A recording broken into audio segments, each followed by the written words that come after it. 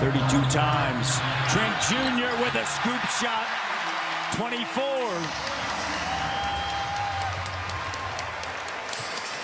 Think about this youthful Raptor team. OG Anunoby, 24. Gary Trent Jr. just turned 23. Pascal Siakam, 27 years of age. Precious, 22. And then the vet, and Thaddeus Young, and a foul. And Anunoby and Embiid. And now a foul on OG. And a technical foul is going to be charged to OG Anunoby.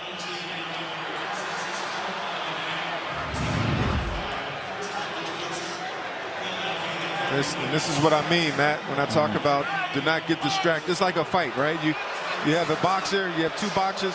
When you're losing, you try to make the fight dirty. You try to make it ugly so you give yourself a chance. You can't get distracted. Stick to the game plan. As you see, Maxey misses the first or the technical foul.